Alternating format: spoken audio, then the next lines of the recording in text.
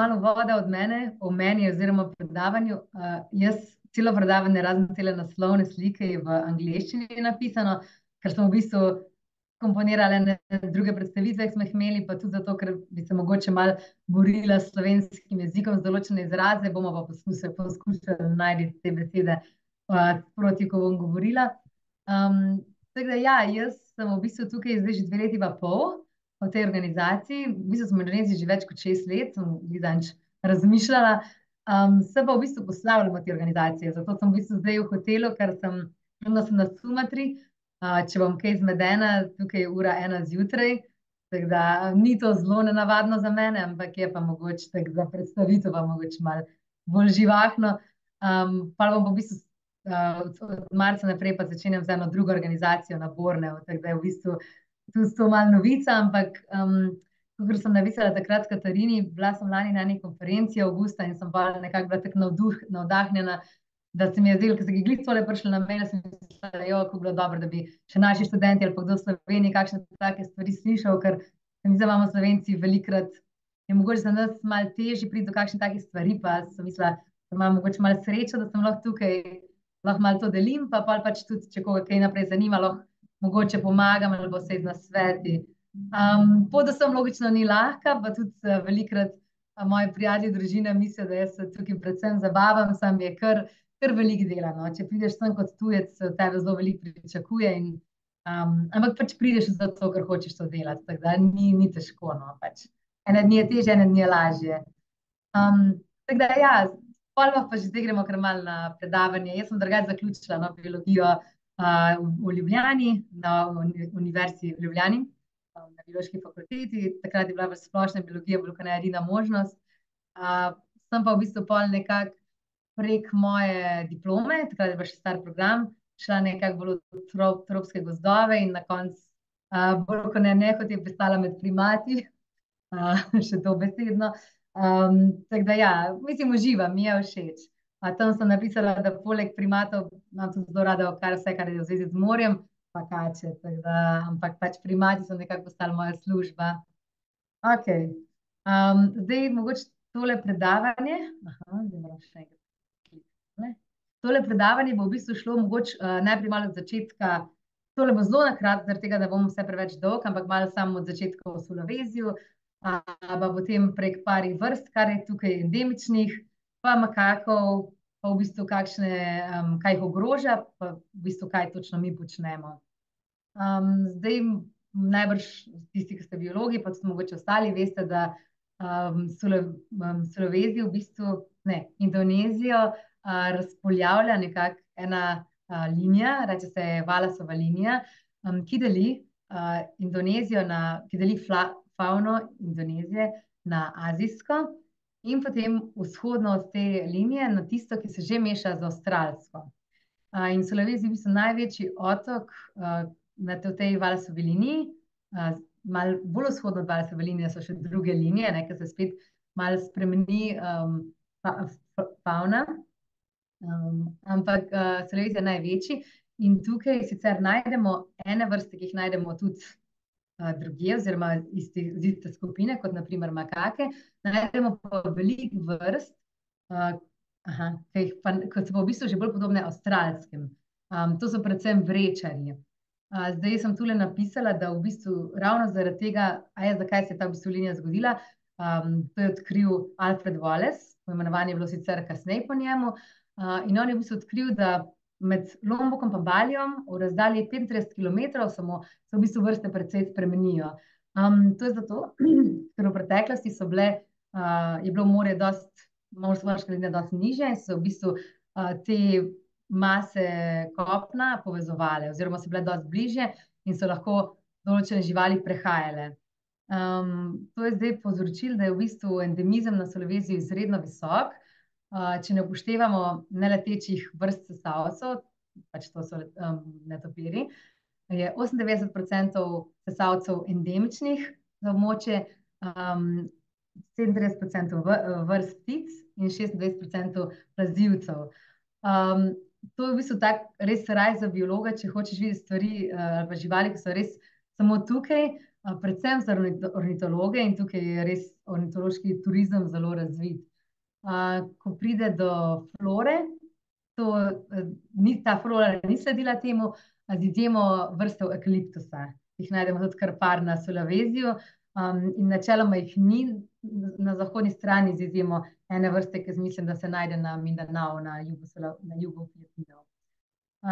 zdaj gor sem dala par slik vrst, mogoče samo, da malo pogledamo, nisem vključila ene neke take, gozdne krave, ki se ji reče anoa, je tudi endemična tukaj, potem je pa babirusa, tole je tisti, divji prašič, ke je levo na slikici, pa vrsta ptic maleo, zdaj ptic je ogromno, tudi teh kljunorožk dosti, jaz sem maleoto vključila mogoče zato, ker je nekako najbolj tak, karizmatičen tukaj, oziroma tukaj velja za nekaj najbolj posebnega, tudi zaradi tega, ker oni v bistvu jajca, ki jih izvalijo, jih zakopljejo, in se potem jajca sama valijo, s pomočjo, velikokrat je geotermalni izvor, malo povišane temperature, ali pa dejansko na plažah. In v bistvu zapustijo jajce, so nekako tak mačehovski odnos imajo, čeprav parček je, skupaj za celo življenje. je pa v bistvu zanimivo, ko se ta mala ptička zvali, to je, oni svalijo samo eno jajce naenkrat, ko se to, to jajce izvali, je v bistvu ptica že popolnoma, neodvisna, tako da lahko sama preživi v tujini, v tujini. Potem imamo dve vrsti vrečarjev, reče se mu, puskus medved, čeprav ni medved, tale je ena večja vrsta, pa še ena manjša vrsta obstaja, terciarji, ki jih tudi kar par vrst na Solaveziju, in, na Solaveziju imamo sedem vrst makakov. zdaj tukaj sem spet navedla, triindvajset vrst je na celem svetu, Indonezija jih ima enajst, sedem od tega jih je na Solaveziju, in to izključno na Solaveziju, in dve od tega sta v severnem Solaveziju, vidimo na, na vrhu, makaka nigra pa makaka nigrescens. zdaj makaka nigra je tista, ki je samo v severnem Solaveziju, nigrescens se pa, potem nadaljuje še v regijo Gorontalo. poleg, tega dela, kjer je nativno prisotna, kjer je originalno prisotna vrsta makaka nigra, to je vrsta, o kateri bomo danes malo več govorili, je tudi razširjena na nekatera na nekatera otočja Maluku, ki je malo bolj vzhodno od tukaj, zato ker je bila tja prinešena. Zdaj, govori se, da je bila takrat to v bistvu prenešena v času, kolonializma kot darilo za takratnega sultana, ki je bil na Ternate otoku, ni pa to dejansko patrjeno. Ampak, mi smo tam, tam tudi naredili ene, preliminarne študije, v bistvu malo percepcije lokalnih ljudi pa tudi malo, pač probali oceniti, kje sploh so, seveda je to bilo zelo tako, pilot survey, ni bilo zdaj nekaj zelo podrobnega, ampak je že na večih otokih. Tako da vedno je še nekaj, kar je za raziskovati, in ocenjuje se, da jih je v bistvu tam več, kot jih je v severnem Solaveziju. zdaj tukaj sem bolj malo napisala, pa bom pa malo več povedala, zdaj tale jaki, kot je lokalno, eno od lokalnih imen za to vrsto, je ocenjen, da ga je v naravi, v originalnem, arealu, še okrog šest tisoč živali, zdaj v nenativnem območju se ocenjuje celo več, da bi naj bilo do deset tisoč. Ampak to je res, to so zelo, zelo, ekstrapolirane ocene, mogoče zaradi tega, ker še niso bile nobene ta prave raziskave narejene, in v bistvu tudi tele naše ocene so, že kar stare več kot petnajst let. zaradi tega, je pač zelo težko narediti, oziroma predvsem zelo drago narediti takšno oceno, da bi lahko dobro ocenil, koliko živali še je v naravi. so, živijo v grupih do sto živali lahko, premikajo pa iščejo hrane predvsem na tleh, seveda tudi plezajo po drevesih, ampak so predvsem, na tleh, vse, vsa svoja, aktivnosti počnejo na tleh.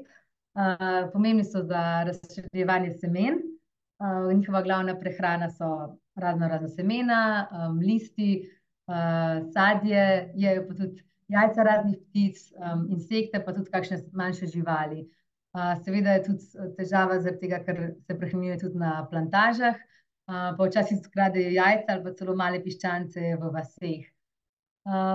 Živijo do osemnajst let, samička ima enega mladička naenkrat vsaki dve leti približno, so, kritično ogroženi, označeni kot kritično ogroženi po CITES-u in so zaščiteni po mednarodnem in indonezijskem zakonu. Um, so zelo karizmatični, ne? ko boste še malo več slik videli, v bistvu imajo tako zelo rjave oči, rjavo-oranžne skoraj, um, imajo zelo tak specifičen uh, grebenček, tako je rokezico, kar je recimo ostali makaki nimajo, to, oziroma sem se še malo, ostali pa ne. Uh, pa imajo edini, ki imajo, kaj so te um, padding, v bistvu ta rit, je rdeča, taka roskasta rdeča. Um, in pa tudi nekako imajo obliko srčka, tako da tukaj v bistvu lokalno sploh imenujejo um, um, makak oziroma opica z, z rdečo ritko. Um, ampak tudi lahko rečemo, da ima srčka to obliko. Zdaj lahko še enkrat vidimo, je ta naša vrsta. Um, tako da, ja, uh, kot ostali primati, imajo zelo kompleksno socialno strukturo. Uh, večina to pomeni alfa samec, uh, pa alfa samica, pa potem ostali v grupi. Um, logično se dogajajo borbe med njimi, kadar je pač uh, kakšen samec dovolj, dovolj pogumen. Imajo uh, pa, ja, drugače, ali je mogoče to mladički, ki se uh, rodijo, imajo najprej bel obraz, potem se bo počasi spremenil črnega. Tako da so mladiči so zelo podobni ostalim makakom. Če se bom še kaj spomnila, zdaj, jaz se bom potrudila biti čim bolj organizirana, glede na slide, ampak lahko da se bom še kaj naknadno spomnila, uh, ker zdaj to pisal ne vidim, pa bom pa še zdala mogoče zdaj, glavne stvari, ki v bistvu so um, za njih, kaj v bistvu jih ogroža, zakaj se populacija tako hitro znižuje, je um, v bistvu primarno je lov na njih, uh, v glavnem za prehrano, imajo uh, jih tudi za uh, podljubljenčke, pa tudi v bistvu, ker jih dojemajo kot škodljivce na poljih, da tudi to jim lahko skrajša življenjsko dobo. In pa seveda krčenje habitata, pa fragmentacija habitata, Um, večinoma na severnem Sloveniji je to sicer zaradi uh, razno raznih izkopavanj, ker tukaj je kar dosta zlata, nikla pa premoga, na določenih močjih tudi bakra. Um, potem pa seveda tudi pač za les, pa za um, razširjanje uh, človeških uh, naselbin, cest, agrikulture, karkoli se pač potrebuje. Um, mogoče, zakaj je tukaj v bistvu tako vredno omeniti uh, prehrano, oziroma za, uh, da se pač lovijo za to, da jih imajo za jesti. Večina Indonezije, Indonezija je največja muslimanska država in večina Indonezije je muslimanska. V muslimanskih predeljih seveda ne jejo opic, um, in tudi veliko drugih vrst ne, ampak severni Solaveziji je pretežno 80% krščanski. Se pravi, nimajo nobene verske omejitve, ki bi jih bi jim preprečevala da bi lovili opice. Um, zdaj, te v bistvu prehranjevanje z opicim je prišlo nekako v navado, v kulturo, šele ocenjuje šele v 50-ih. Mi smo to v bistvu, da brez mene, ker če mi je bilo veliko stvari narediti pred mano, um, smo v bistvu naredili kar podrobne raziskave s tem razno raznim kulturnim uh, vodjem, pa s, v bistvu s tem, ki se ukvarjajo z zgodovino. In v bistvu to originalno ni bilo prisotno. Bilo je seveda, če si pač živel v gozdu, mogoče si kaj lovil, niso pa nikoli se posebej fokusirali na opice. Um, nekako v 50-ih letih je pa to prišlo v navado, oziroma se je to začelo in ne kot nekaj, kar je bilo nuja ali pa pač potreba, ampak predvsem zato, ker je bilo pač postala to neka pač znak prestižne hrane. Um, in te v bistvu opice, že na splošno ima Severni Solavezi uh, veliko večji um, vnos, ljudje imajo veliko večji vnos uh, proteinov, pa tudi kalorij, če primerjamo z ostalim delom Indonezije. Je severni Sulawesi tudi mogoče malo bolj uh, premožen, mogoče malo bolj razvit, kot večino delov Indonezije, um, ampak v bistvu nimajo potrebe potem, da bi še opice lovili. Ne. Tukaj se prehranjujejo uh, logično tudi s prašiči, tako da v bistvu nekak, to je nekaj, kar je cenovno veliko bolj dostopno, pa tudi um, veliko bolj pogosto. Um, niso pa uh, te naši makaki edini, ki v bistvu nastradajo zaradi te situacije. In tu vidite še eno drugo sliko, zdaj jaz nisem preveč sliko vključila, nekaj še imam malo kasneje, ker so mogoče malo uh, hudo zagledati. Ampak v Siriji so leveziju um, jejo tudi pse, mačke, uh, potem pa iz gozda jejo pa v bistvu res čisto vse, od uh, netopirjev um, do podgan, več vrst, nekatere tudi že lokalno zamrlih, uh, do kač, divjih prašičev, tiste anoje, ki sem prej omenila, babiruse, uh, ptic vse vrst. Um, in te kuskus medvede tudi, te vrečarje. Tako da v bistvu veliko teh vrst je tudi zaščitenih, logično. Um, in v bistvu mi vedno rečemo, ne, da se v bistvu trudimo zaščititi makake, v bistvu vedno zaščitimo še druge stvari, ne, ker zaščitimo območje, pa če izobrazimo ljudi, bo to pomagalo tudi za ostale živali, predvsem te, ki so zaščitene. Kar pa delamo na tržnicah, vse naše aktivnosti pa vedno vključujejo vse vrste, ki so zaščitene, pa se prodajajo. to se bom še malo kasneje dotaknila, bolj podrobno. mogoče je bilo zdaj to dosti pregleda, da nekako veste, kaj pesti tele naše makake na Solaveziju. zdaj bom šla pa malo bolj podrobno, kaj pa mi počnemo. zdaj Selamat Konjaki, je organizacija, oziroma Selamat Konjaki je program ene lokalno registrirane organizacije, ki se ukvarja z ohranjanjem, raziskavo in izobraževanjem, na, z namenom, da bi zaščitili te makake in njihovo, njihovo originalno področje, oziroma kjer so.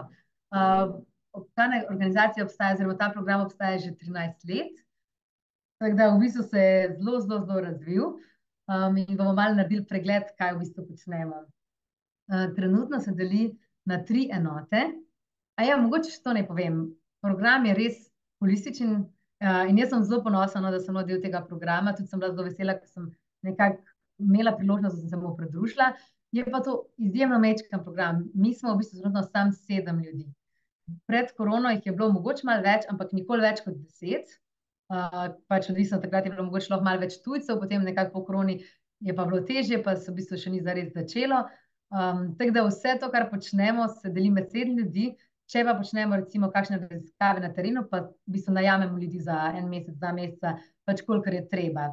Ampak, to pomeni, da je res ogromno dela za tako malo ekipo, sploh ko boste videli, kaj vse počnemo oziroma kakšne kar zanimive projekte imamo.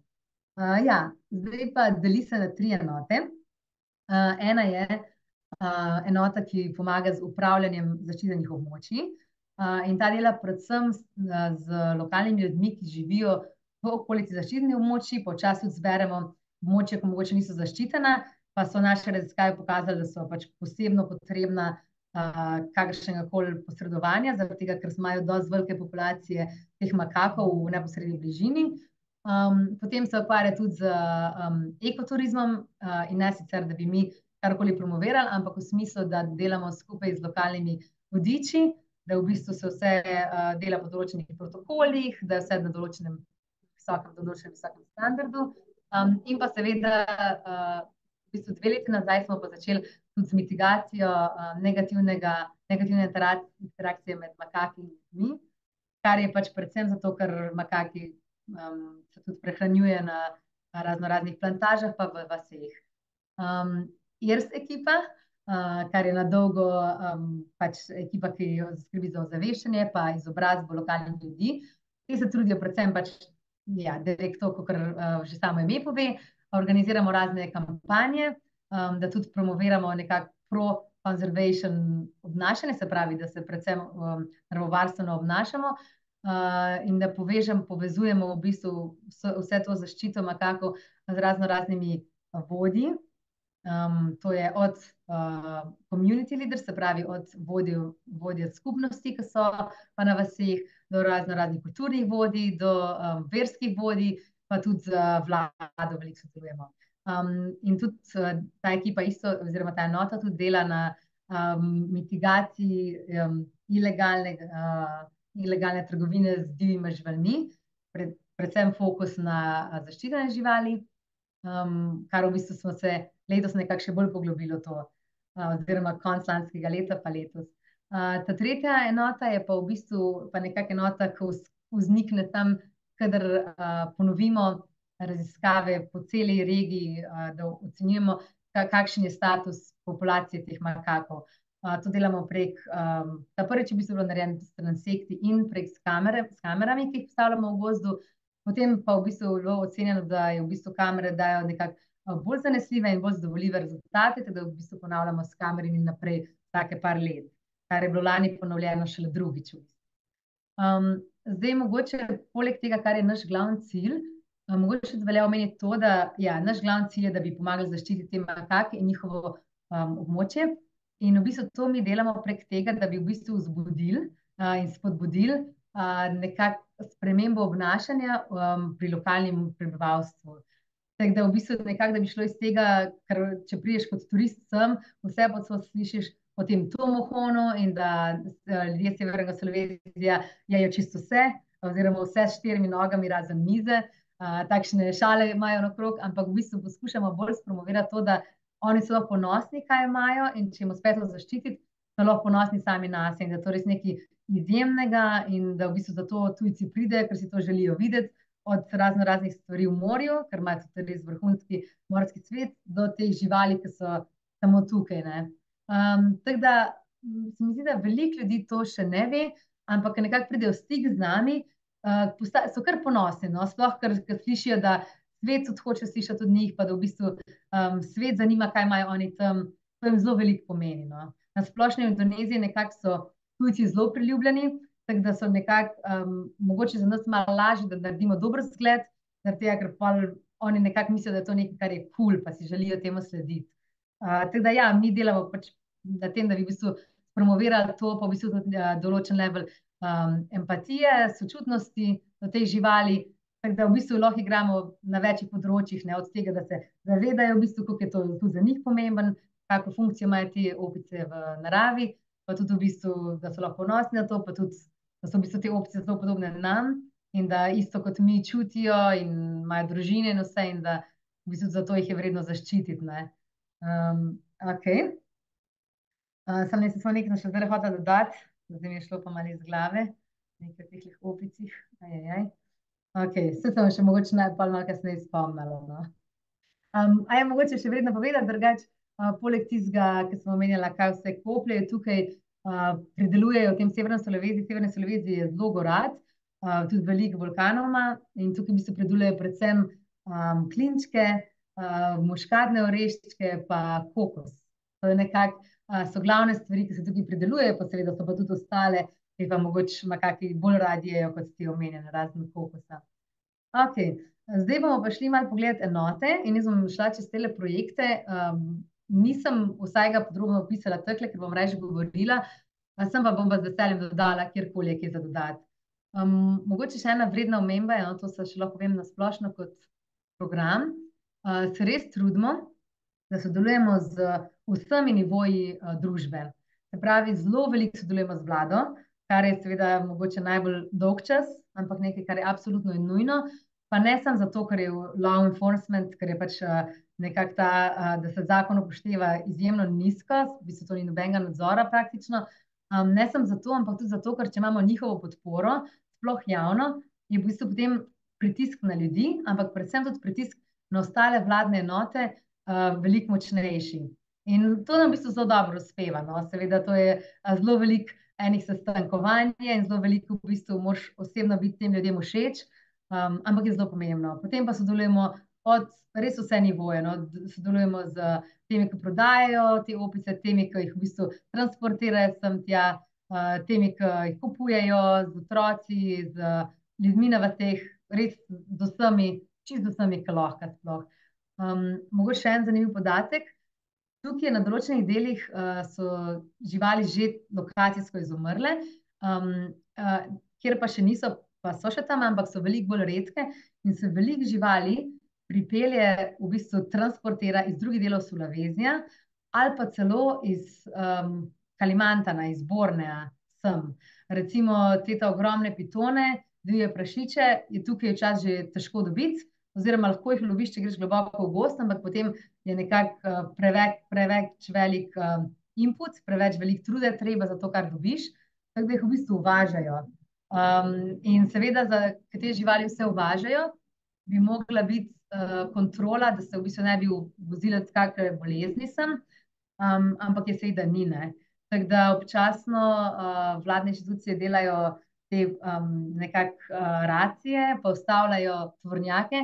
In če tovornjak nima dovolilnic, kar jih nimajo, jih pošljajo nazaj, ampak pač to samo pomeni, da počakajo par ur, pa še enkrat poskusijo. Zaradi tega, ker nažalost ni dovolj denarja namenjenega za to, da bi um, lahko to dovolj dobro regulirali ali pa nadzirali. Ne.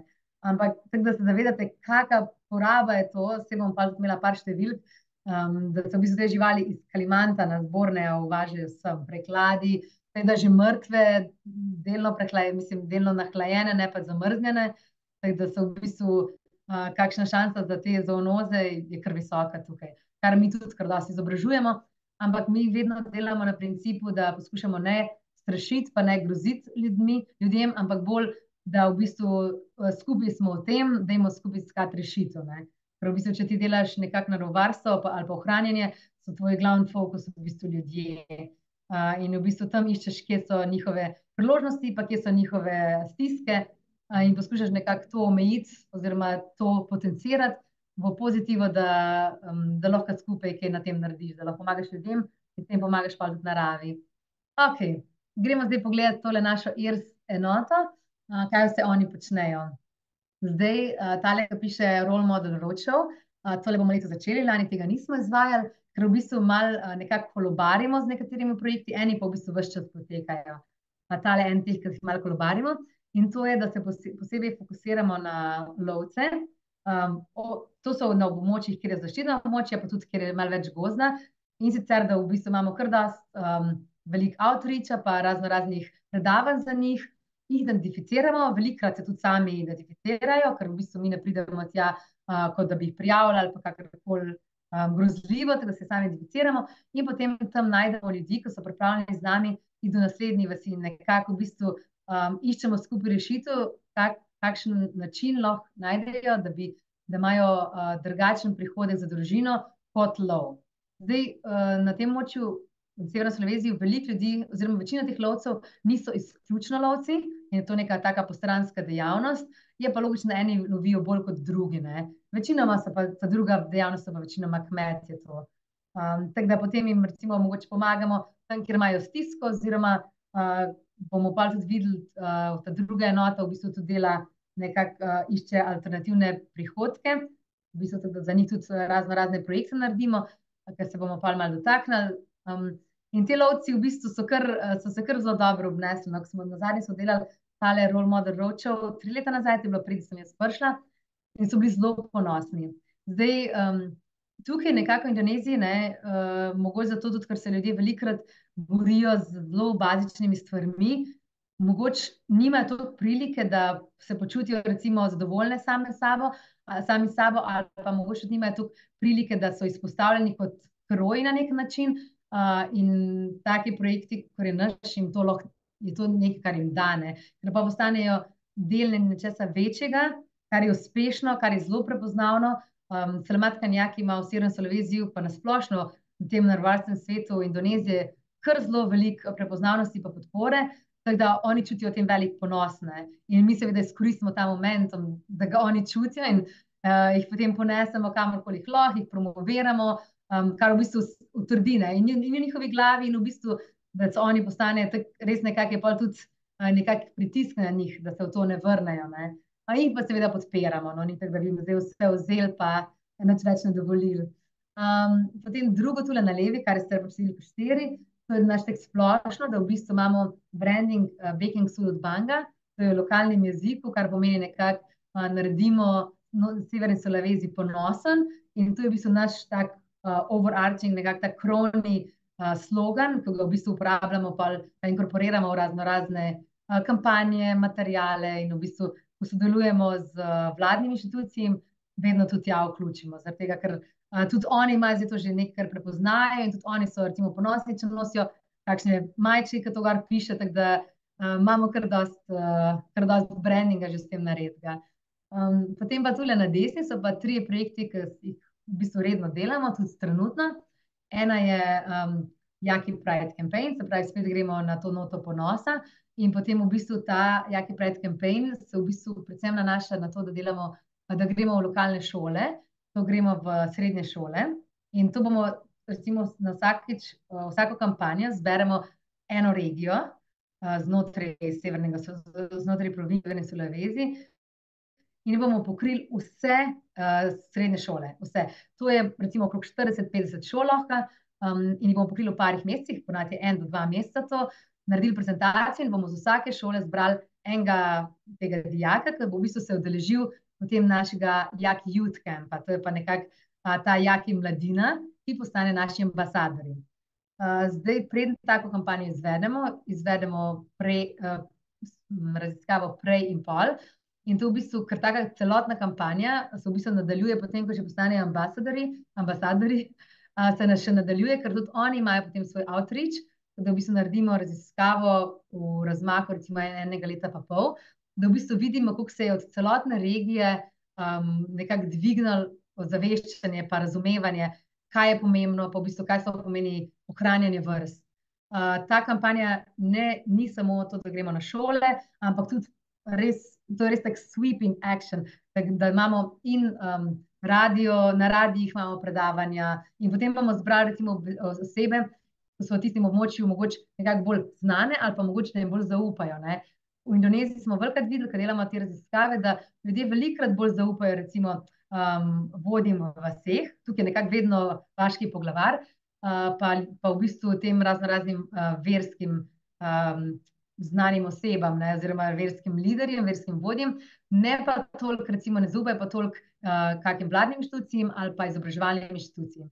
Tako da mi v bistvu bomo naredili to raziskavo prej, videli, kaj deluje, videli, kaj se ljudje zapomnijo, in pa bomo imeli tudi billboarde po celi regiji, se pravi, so tako ogromni panoji ob, ob uh, cestih, um, raz, ob cestah razne, razne tudi um, TV serije oziroma TV talk show bomo imeli. Tako da v bistvu res naredi, to je ogromna kampanja, um, ki bomo izvali eno, eno leto pa pol približno, in v bistvu pa pričakujemo, da je tista regija kar dosti dobro pokrita in izobražena glede tega. Zdaj vidim, da če se bo treba malo mogoče pohiteti. Um, Mogoče sem še tukaj to, poleg teh mladih, jakih ambasadorjev, imamo tudi um, razno razne druge, malo bolj znane osebe, naprimer, par znanih bendov indonezijskih, se je pridružil temu movementu in v bistvu so oni tudi, če imajo ta koncert, uh, tudi promovirajo nas, kar je v bistvu zelo dobro, zato je, ker pač če je nekaj prikazano kot kul, cool, uh, potem ljudje raje sledijo. Uh, potem ta drugi projekt je Green Gospel, kot sem rekla, tukaj so večinoma kristijani in vera je tukaj zelo pomembna. Ne? Um, in v bistvu, če greš prek vere, nekako do ljudi, greš nekako direktno v njihovo srce, oziroma malo bolj igraš na to noto sočutja.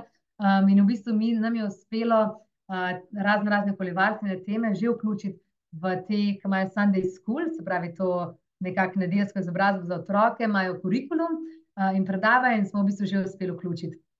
Tudi trudimo se zelo to vključiti dejansko v šolstvo, ker je tega veliko premanj premalo, ampak je to veliko težje. No? Tako da zaenkrat nam je to uspelo, pa smo v bistvu povabljeni, da zraven pišemo ta kurikulum.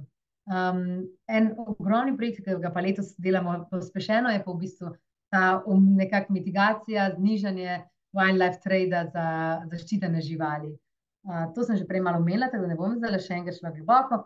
Tukaj sem dala par slik. Um, to je predvsem pač ja, nekaj malo vidite radio, pa tukaj ena od teh naših ambasadorjev, ambasadorjev, pa ljudi, v bistvu, tele so lovci, bivši. Uh, tako da, mislim, res na vseh sortih delujemo, na vseh področjih. Uh, zdaj, še malo bolj mogoče podrobno o tem, ampak ne bom se preveč spustila. Um, veliko sem že prej povedala, da bilo, so bile določene na določenih obročjih izumrle. Tule vidite par uh, trupelc, razno raznih živali, na levo spodaj je ta mala vrsta uh, tega kuskus medveda. Um, evo, pa tukaj imate še par netopirjev. Uh, je, mogoče še to, ja, kar, sem, sem prej nisem omenila. Mi smo v bistvu uh, delamo že več let, začeli smo 2018, um, raziskave na marketih, se pravi na teh tradicionalnih uh, marketih, um, tržnicah, ko so te mokre tržnice. Um, smo v bistvu naredili po celem Sulaveziju, na teh večjih, da smo v bistvu gledali ne samo, v bistvu, koliko veliko ljudje vejo ali pa se sploh zavedajo, kje živali so ogrožene, kje živali so zaščitene, kaj pomenijo te živali za naravo, ampak tudi to, koliko in katere živali se prodajajo. In iz teh naših izsledkov, ki so bili tudi objavljeni, smo potem nekako izbrali deset tržnic, ki so nekako malo večji risk, ker se te živali, zaščitene živali bolj pogosto tam pojavljajo.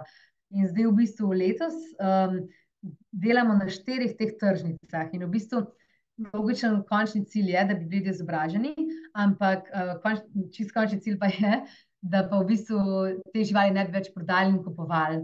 In uh, na dveh tržnicah smo v bistvu že delali pred korono, pa se je to ustavilo, zdaj pa spet. In tam so v bistvu, um, to je zelo velik, zelo dolgotrajen pristop, ker moraš zgraditi nekako njihovo, dobiti njihovo zaupanje. Ampak so v bistvu ti ljudje bili pripravljeni podpisati, da ne bojo več dodajali zaščitenih vrst. In zdaj je v bistvu tako ogromen panos, podpisi teh ljudi na tržnici. Kar je nekako tak ponos teh tržnic postali in ena teh tržnic je Tomohon, ki je nekako najbolj znana za tak ekstremen uh, tr trg, ekstremen market, ampak tam v bistvu ne vidiš več opic. Ne. Mogoče vidiš še kako drugo zaščitno vrsto opic, pa na srečo ne. Je pa tudi res, da se je med korono um, neke te prodaje preselilo v bistvu direkt, da jih prodajajo direkt s kombijev, kar po vseh. Zaradi tega, ker se jih ne dobi tako pogosto in če jih hoče dobiti, mislim, če jih dobijo, jih hitro hoče prodati. Um, je pa tako, da če se jih hoče uloviti, se jih relativno lahko lovi, ker sem rekla, ne, večinoma se premikajo po tleh, velike grupe so in uh, včasih lovijo z, um, s puškami, velikrat pa nastavljajo pasti. In če nastavijo pasti, jih je relativno lahko loviti. No. Okay. Um, zdaj, tule, to je še en del tega raziskave, ki smo delali. Mogoče sem zanimiv na desni zgoraj, tale um, pita, uh, v bistvu prikazuje, da ljudje, zakaj sploh, zakaj sploh jedo te opice, predvsem zato, ker so okusne, pa nek, nekaka taka delikatesna zadeva. Um, tudi kar visoke, da ker mislijo, da je to del kulture, pa navada, uh, pa tudi zato, ker ima kakr, kakšne medicinske razloge. Ne. Um, pa seveda mislijo, da so živali, ki so iz gozda, da so nekako bolj zdrave, pa bolj naravne, ker pač itak uh, vejo, da recimo, če, so, če govorimo o piščancih, je veliko uh, že pitanga z razno raznim kemijo, z razno razno kemijo. Um, drugače, nekako posebnosti te regije za jesti so pa produkti iz finskega mesa. Uh, tule je, evo, še par uh, malo bolj groznih slik mogoče. Zdaj lahko tule vidite, tole so najbolj recentne patrulje, mislim, patrulje, ki so jih delali, ki jih je delala vladna agencija, pa smo v bistvu mi tu sodelovali. Naprimer, med 2. in 5. aprilom letos, oziroma 2023, 4000 kil, skoraj 4000 kil živali v prešenih v provinco Severne Solavezi. Iz, v bistvu ne vemo čisto točno, skje, večinoma so bile južnega Solavezija. Da, to se ogromno prenese, velike kač pa divjih prašičev, to nekako najtežji, um, mislim, tak, če gledamo po, po kilaži, ampak po živalih pa tudi zelo veliko netoperjev. Um, tako da logično te živali niso bile zmrzene, se vidi, da tam lahko lahko dvignejo. Uh, je pa mogoče ena posebnost, da se prodaja tega mesa, ki je malo posebej, naprimer opice, posebej dvigne bliz uh, večjih praznikov, crkvenih, to je naprimer Božič, uh, pa Velika noč, imajo pa tudi nekakšen Thanksgiving tam, tako da takrat tudi, pa za kakšne posebne priložnosti, naprimer poroke pa to. Um, ok, gremo na drugo enoto, zdaj bom probala malo pohiteti. Um, ja, zdaj tu imamo štiri večje projekte. Enega trenutno ne delamo aktivno, to je tale na levi zgoraj. In to je sicer, da iščemo neke druge načine, kako ljudje v bistvu dobijo dobiček, da ne lovijo. Um, v preteklosti smo to delali, v bistvu smo začeli uh, permakulturo na, in smo v bistvu pomagali, mislim, najeli uh, zemljo, da so to, lahko ti ljudje delali. In to se je v bistvu kar dosti družin vključilo. To, to smo delali v eni vasi, v treh različnih vaseh smo delali pa hidroponiko. To je v bistvu, da smo zgradili to zeleno greenhouse, ne, to stekleno hišo za njih in so v bistvu tam delali. Tukaj je mogoče ena zanimiva stvar, kaj se zgodi v Severnem Solavezijo. Uh, na eni točki, v eni teh vaceh, niso več hoteli delati v tej uh, hiši in so v tej stekleni hiši in so predstavili na drugo območje. Potem tudi tam niso več delali in smo šli tja in se mi se zanimali, kaj je zdaj problem. Smo ugotovili, da tukaj je še zelo veliko prisotno um, te črna magija in zelo teh prepričanj o duhovih. In so v bistvu, ker je zelo veliko ljubosumja zaradi tega izkopavanja uh, dragocenih kamnin in niklja in vsega tega, uh, so v bistvu potem med ljudmi veliko, um, da imajo čas, da se med vasmi ne razumejo, ali pa tudi znotraj vasi, ker je veliko ljubosumja, ker so pač lahko dobički kar veliki. In potem je lahko tudi ljubosumje se nekako preneslo na tole našo stekleno hišo.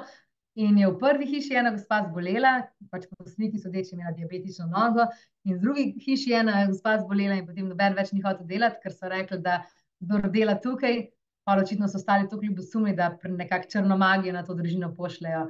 Tako da, ne, to je potem tak hec, ko moraš razlagati fandarim, kaj se ti dogaja, uh, zakaj v bistvu ne delajo več tam, kjer smo to že investirali. Okay.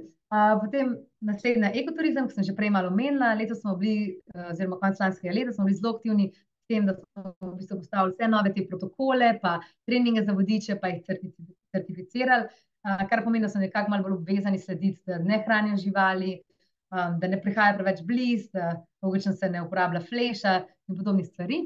Uh, na desni imamo še pa dve drugi. Um, tale FMK, uh, imamo tudi tam angliški prevod, to je nekako um, v bistvu uh, ustvarimo ekipo v parih vaseh okrog zaščitenega območja. To smo zdaj na, že na drugo območje prenesli ta model in to je, da v bistvu um, kolaborativno upravljanje zaščitnem območju. Območje. Zaradi tega, ker kaj se zgodi, veliko se zgodi, da vladna agencija za te naravne resurse bo prišla tja in bo poskušala reči, da ja, tole pa tole pa tole ne smete. In logično, lokalnim ljudem ne bo to všeč. In lokalni v Severne Sloveniji so precej temperamentni. Um, in veliko se zgodi, da se te vladne agencije, v bistvu ti ljudje, ki bi mogli biti na terenu, dejansko lokalnih ljudi bojijo. Kar pomeni, da ni dejansko nobene kontrole in se počne tam, kar se želi, ker se logično lokalni ljudje ne strinjajo, da jim je ta zemlja oduzeta in naenkrat ne smejo več loviti, ne smejo več izsekavati in nič.